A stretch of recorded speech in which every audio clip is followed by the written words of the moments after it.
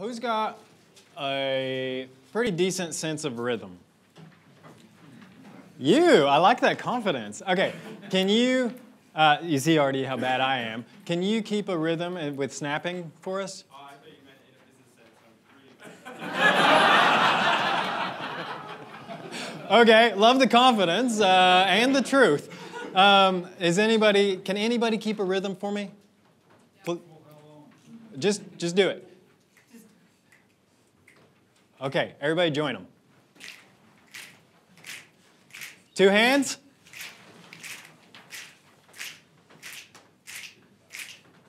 Stop.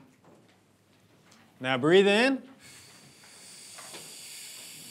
I don't see you breathing in. Breathe in.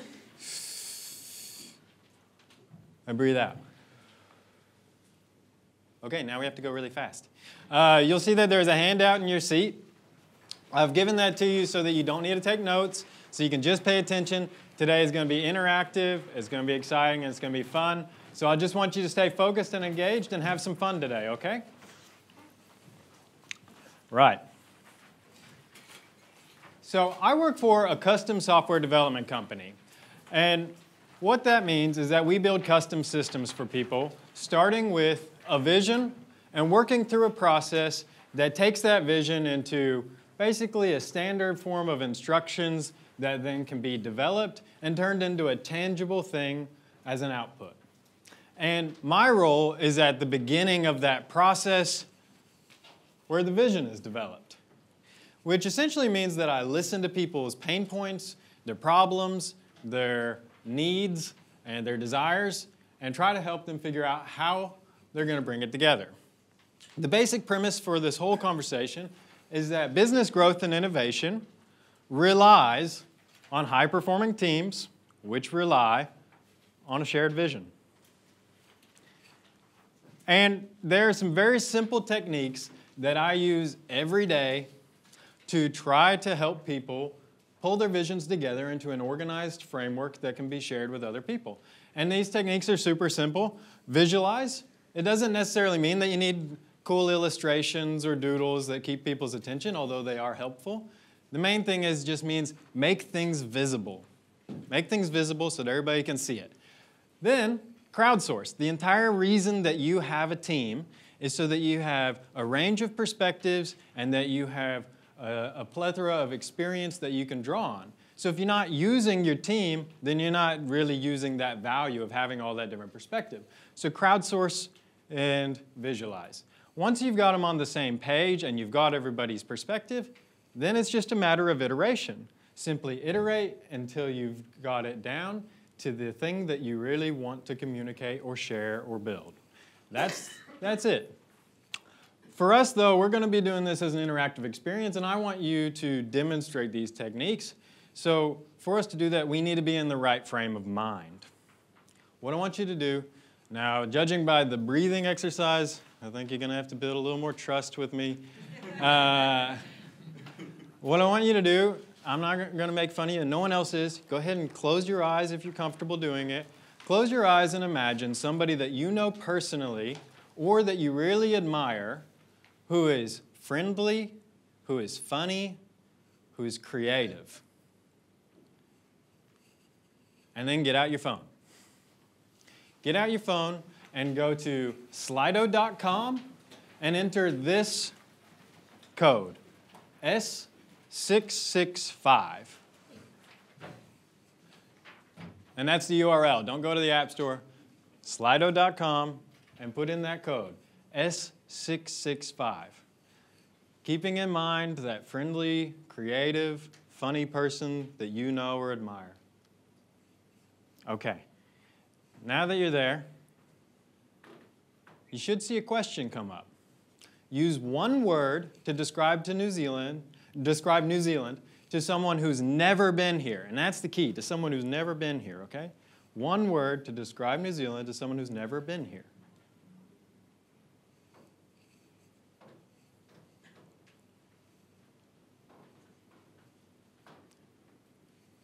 All right, cool. Green, beautiful, innovative. Right, we're starting to see some themes. I, could, I could have guessed to the beautiful and the green. I was expecting some more mountains, but yeah, that seems about right. Okay, cool. That's good. Now that you've got that in mind, I want you to flip your thinking, and we're going to answer the same question, but now we're going to say one word to describe Australia to someone who's never been there.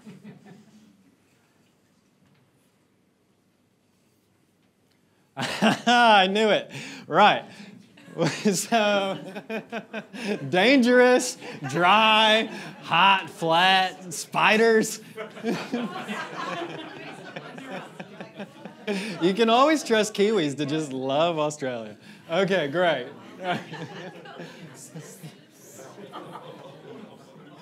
Okay, all right, all right. Now we're in the right frame of mind. Now you guys got it. Now you're feeling it. Right, okay, great. So,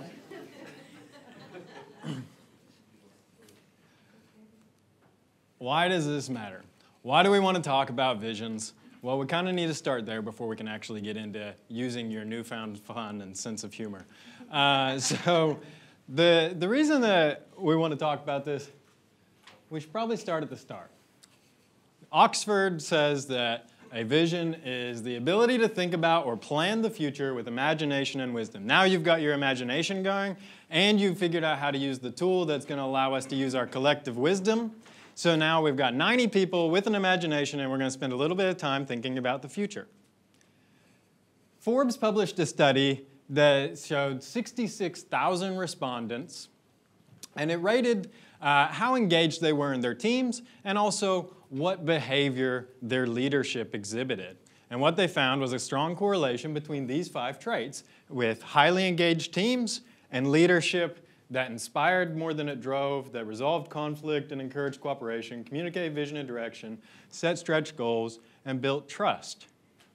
And my personal opinion, personal, is that you cannot really effectively do three of these five things without a vision. It's very difficult to inspire people if you don't have a vision to inspire them towards. It's very difficult to communicate a vision if you do not have a vision. It's very difficult to set stretch goals if you don't know where you're going to stretch to. But beyond that, visions are very important from a very practical sense. If you looked at the structure of strategic planning, and granted, there are lots of frameworks out there, and everybody's got it different. Uh, but this is just one that I think is a very simple and straightforward approach to strategic planning. And what you've got is a template up at the top, same as this agenda over here, uh, that you can use to develop a vision. From there, with your own purpose, mission, and values, you can use that to then create the goals that are going to help you get to that vision. Once you've got those goals, you need a strategy for how you're going to accomplish those goals, and then you're going to build objectives to make sure that you're getting your strategy on the right track. And from each of those objectives are going to be a myriad of initiatives to make sure that you actually meet those objectives. And if you work in software development like us, you may know something like this, but this is actually applicable well beyond software. So once you've got your vision, your goals, your objectives, your initiatives, we then break it down further into parcels of work we call epics. And you can call it something else. The basic idea is that you're going to have diminishing sizes of work that you're going to be able to do something with. Epic stories and tasks, and then you're going to bundle those on a priority basis into releases with these activity streams. And those activity streams could be recruiting a, for a team. It could be commercials and getting some documents ready. It could be a feature or a functionality, a piece of functionality in software. And along the way, you're going to have some form of governance where you're evaluating how well what you're building is actually tracking back to that strategic plan that you developed. So we know that visions are important. What do they actually look like? Well, research tells us that good visions, and good being that effective teams use visions that have these traits, are clear. They're easy to understand. They're stable, which means the organization isn't yanking you around all the time. You know where the resources are invested. You know what the right direction is and they're shared. So everybody understands how the future looks different based on the contributions that you're making today. An interesting note that I wasn't sure if I'd tell you or not the research also showed that the team doesn't actually have to fully support the vision, they just have to understand it. All right, so I find this to be a very easy template. It's on your handout. You can use it as you like, but please don't try to, don't, I'm not a dogmatic guy. Don't make this set in stone. James said this is the way you build visions. You can do it how you like. Uh, you have a current state, right? So there's going to be some common cause. Usually, if you're an organization or if you want to build a personal vision, you have something that is your uniting force, and that's what you're going to build a current state around so you can understand where you are, so then you can dream about the future. You want to identify who the key personas are in that current state, what their needs are, what's standing in the way of them uh, meeting their needs, and what you're going to do about it. It's that simple. So, since we're all from different organizations, I thought one thing definitely unites us. We're all here in Canterbury at Tech Summit. Let's use the Canterbury Tech sector as our uniting cause for the demonstration that we're going to run today. At a really, really high level, just to get us a going on this current state thinking, out of the total 12.5 billion GDP, although we are the third largest tech sector in Canterbury, it's not exactly a close horse race. Uh, we're contributing about 1.5 billion to the GDP, and we've got about somewhere between six and 7,000 people out of the 54,000 people in New Zealand that contribute to the tech economy. And a SWOT, a strengths, weaknesses, opportunities, and threats, is a great way to get a bit of a view of your current state. I took one from CDC for Christchurch City Council that was looking at how to uh, build international businesses in Canterbury. And there are some really positive things that I think we should take pride in here. Some uh, software development is pretty strong here, which is easier to export. There's a good group of successful firms in Canterbury. Uh, there's a real DIY mentality. And people are generally uh, open to sharing their ideas and their information here. But there are also some weaknesses. We've got a small local market, and to supply that small domestic market, we've got a pretty small labor force, which comes with some threats of potential talent shortages and successful firms moving offshore to follow their larger markets we all know that there's a lot of literature out there on the link between having available skills and productivity in the sector. So this seemed like a good place to drill in for us to have a common cause. But I thought we should test it. So go ahead and grab your phones. And I want you to think what you currently need or what you would really, really like to be able to fulfill your strategy or your dreams for your company, what skill do you really, really need or want? Management?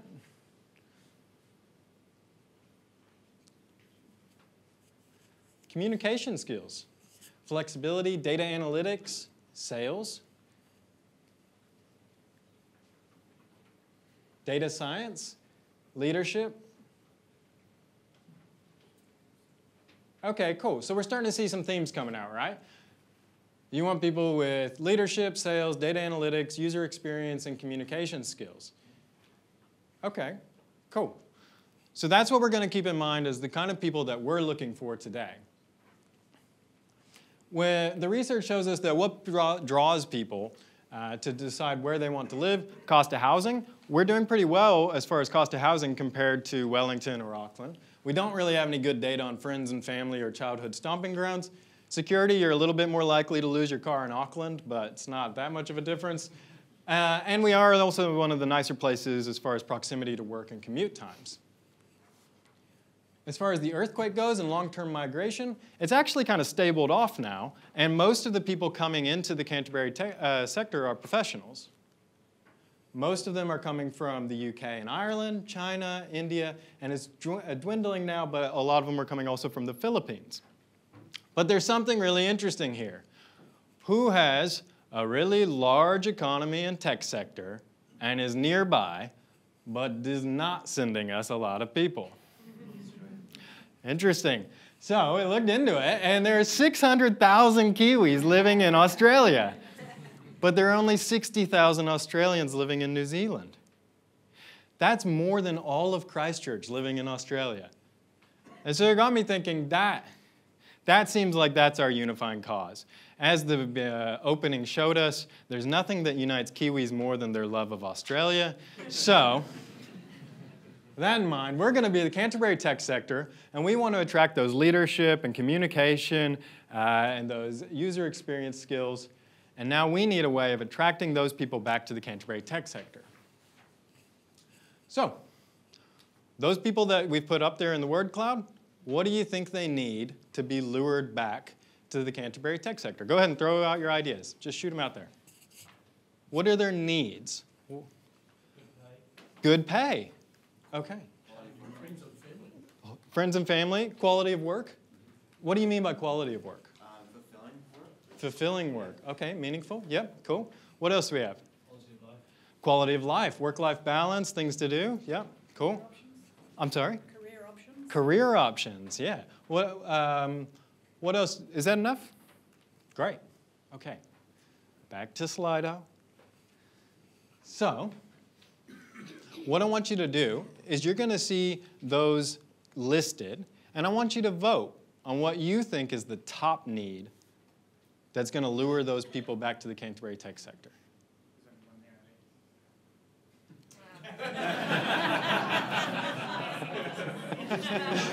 Right, so we've got our answer.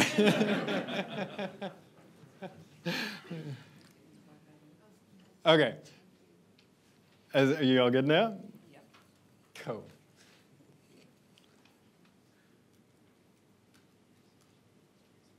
So you have work-life balance, good pay, career options, Quality of life. quality of life. Anything else? Meaningful work. Meaningful work. Meaningful Safe work. environment.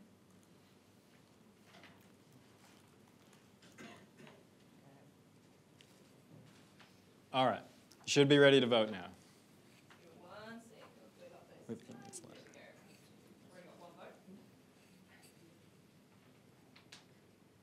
Oh, now we got a horse race. Okay. Good pay seems to be winning. Oh, quality of life jumped up. Kiwis must be answering. Good pay, quality of life. Yeah. That's out of 71 respondents. It looks like people think good pay is what we need. Okay, cool. Let's leave it there. All right. So now I want to know who out there is a terrible illustrator? Go ahead, raise your hand if you're a terrible illustrator. Now, out of those that have your hand up, how many of you, uh, where'd your hands go? how many of you are confident people? Great. Why don't you come on up here? the keynote stole all my time, so we got to go fast. All right, so uh, what, your name is? Luke. Luke, let's uh, give everybody a round of applause. Luke, thank you very much. You're going to have to get real cozy with these folks. Can you draw something that represents good pay here, please? Yeah, and big enough for the people in the back.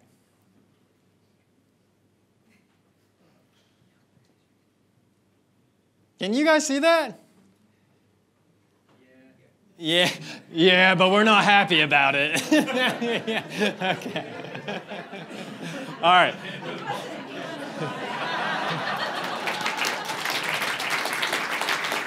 Okay, thank you, Luke. I need you to stay there. Uh, okay. Now, we got to go faster, guys. I'm sorry. Like I said, we're running out of time. So, uh, what are the obstacles standing in the way of us offering better pay to these people who we want to come to the Canterbury Tech sector? Just throw it out there. What are some of the obstacles to us offering better pay? Size of the local economy. Okay. I'm, I'm sorry. Who said, somebody said something back here. Is it size of business? Size of, okay. Same. What else? Investment funds. I- Investment funds, is that what I heard? Ability to access investment money. Ability to access investment money. What else do we have? Market source. Market size. Okay. You want me to write these? Oh, no, no, I, uh, I love that you're doodling, but just chill for now. you're definitely getting that confidence. I'm loving it. Okay. Um, Uh, company boards that don't understand the investment required for technology. ah, okay. So a bit of a knowledge of, t- of the value of Yeah, technology on company just boards. money allocated to technology Okay. companies. Anything else out there? It'll, it'll bring up existing pay rates. So if we start paying big money to bring them in, Uh-huh. then what does it do to our existing teams? Pay parity. Are you asking me a question or is that your answer? Pay parity. Okay. senior staff will then cost more. yeah. okay, how are you going? Good. All right. So back to Slido. This time we're going to vote on more than one. Or we're going to vote on one, but you're going to have more than one to choose from. Out of those, I want you to choose which one you think is the, the top obstacle that's standing in the way of our people coming here.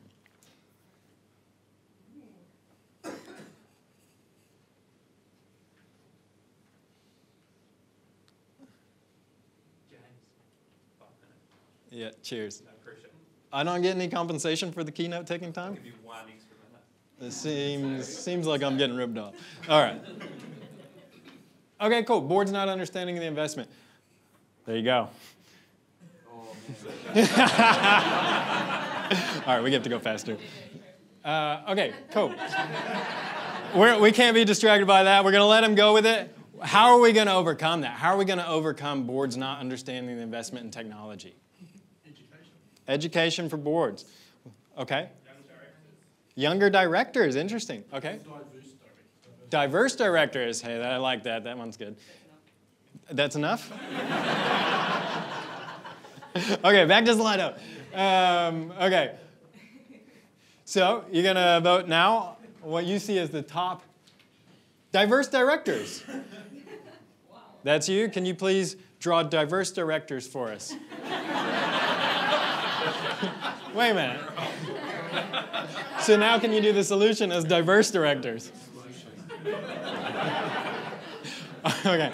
Look, I know it seems counterintuitive. We always say, hey, don't go into solution mode. Don't go into solution mode. But the reality is, if you think about companies like SpaceX, uh, they want to put inter, uh, they want intergalactic life, right? That is a solution for what they see as problems on Earth. You think about uh, the Boring Company, mass transport is a solution. So these visions are solutions, even though we always kind of say, don't go right into solution mode. Okay, so thank you. Can we give him a round of applause? Thank you very much.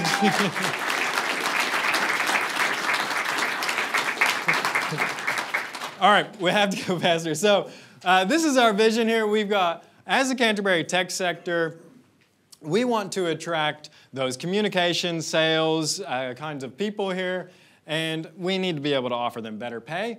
And we think that a stumbling block to doing that is boards that don't understand the investment in technology. And so, what we want to do is we want to encourage a diversity of boards in the Canterbury tech sector. Bingo, that's our vision. So, the whole thing, I know it's a bit of a, a, cheesy way to do it, and that you've got 90 people trying to do this in now like 15 or 20 minutes, um, which is a bit of an insane way to come up with a vision that's going to affect a $1.5 billion sector. Uh, but the principles are the, are the same. You would just do it with more thought, more consideration, more data, more research, more healthy debate.